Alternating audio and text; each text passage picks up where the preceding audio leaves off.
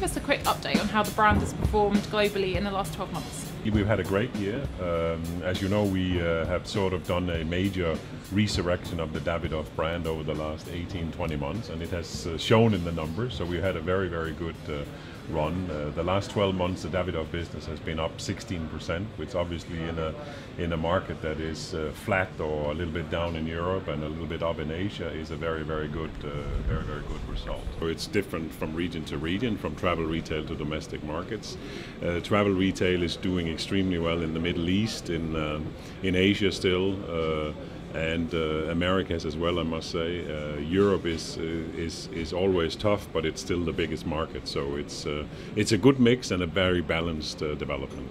And so, with luxury in the spotlight, how do you define luxury today? You know, for, for me, the luxury, the definition of luxury, it's it's about authenticity, it's about quality, it's about uh, heritage, and and and that's what I think Davidoff is all about. But in addition to that, since we are sort of a an affordable luxury. Yes, it's a luxury cigar, but it's also something that people can afford and allow themselves to do uh, once in a while. So I define our particular luxury more as pleasure, right? It's it's it's our line is time beautifully filled, and it's a luxury moment where you have 45 minutes an hour to relax with friends or on your own uh, to do uh, just that, relax and fill your time beautifully last year you launched Davidoff Nicaragua, which was a real innovation in terms of where the tobacco in the cigar came from.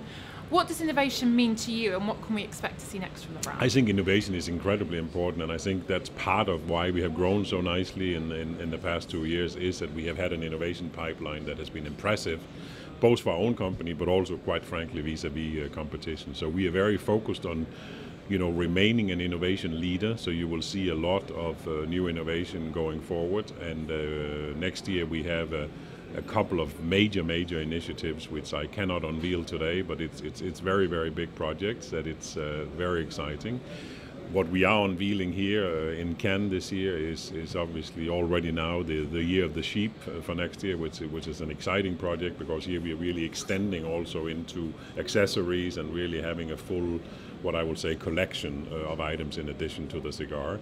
And secondly, of course, uh, Davidoff Nicaragua has been a, a, tremendous success. And what we're introducing here in Cannes is two line extensions the Diadema, which is sort of the royal format of cigars, the mother of all cigar formats, but also the small Primeros, which gives you an opportunity to have that distinct Nicaragua flavor in a, in a very short uh, period of time. And then finally, uh, there's been a lot mentioned about uh, legislation and regulation in the tobacco industry. How do you anticipate it will affect you over the coming year? It is clearly our biggest uh, external challenge, uh, and uh, I was happy to see Erik Juul Mortensen spending some time on that topic today, also from a duty-free perspective, because obviously whatever happens in domestic legislations is normally sort of directly applicable to, to travel retail as well. And, and I think there are obviously with the new TPD2, the new European tobacco uh, product directive, there's a lot of things there that between now and 2016 has to happen. Very costly exercise. Uh, but what is sort of the most uh, challenging, I would say, is the second part of that legislation, which is, comes to implementation in 2020, which is track and traceability,